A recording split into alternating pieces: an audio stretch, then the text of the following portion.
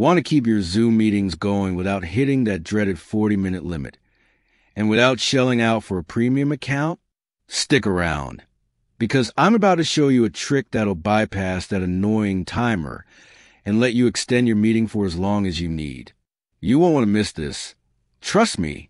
Here's the deal. Zoom typically cuts your meeting off after 40 minutes if you're on a free plan, leaving you with a 10 minute waiting period before you can start another session. What if I told you there's a simple workaround? Yep. You can bypass this limitation with a trick that'll keep your meeting going interruption free. Let's dive in. First, sign into Zoom either with your Google account or by creating a new one if you don't already have one. I've already signed in with Google. Once you're logged in, you'll see the Zoom interface.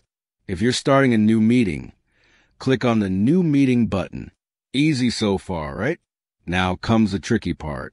You'll start your meeting as usual, but after 40 minutes, bam, your meeting will end. You'd normally have to wait 10 minutes or upgrade to premium to keep going.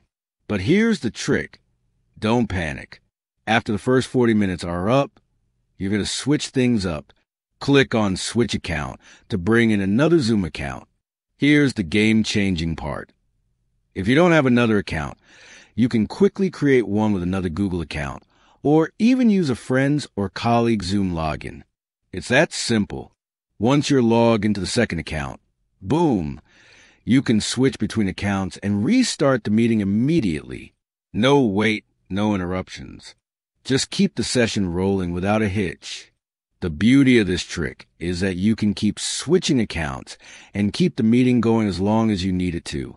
Now, when the 40 minute timer runs out, simply grab the new meeting link from the second account and send it to your participants. You can send it over WhatsApp, email, or any other method.